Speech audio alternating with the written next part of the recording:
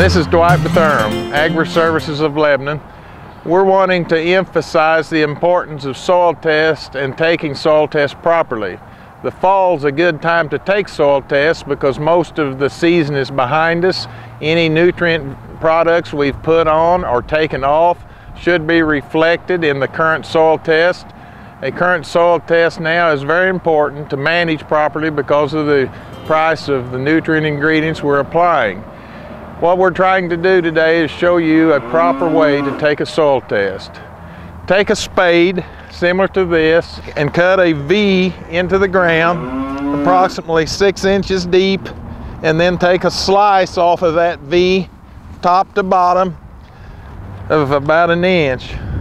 Peel the top sod off, any rocks, any debris that's involved in it, peel off, then take that particular slice and put it in a bucket, something that's non-contaminated for your sample.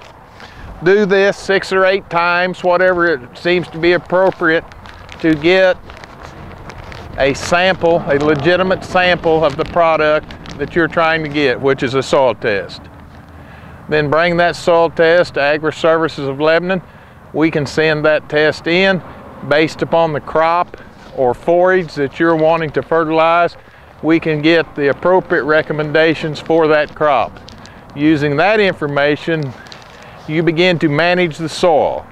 Managing the soil produces a forage. In a beef operation, managing the soil, managing the forage produces more and better quality beef, which in turn is where your income comes from. Any questions, please contact Agri Services of Lebanon 532-7898.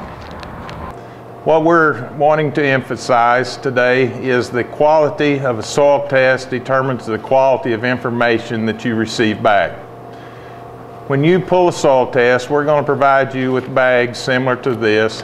We need those about half full to send in a sufficient amount of dirt to get a good soil test. On a soil test or recommendations, contact Agri Services of Lebanon 532 7898.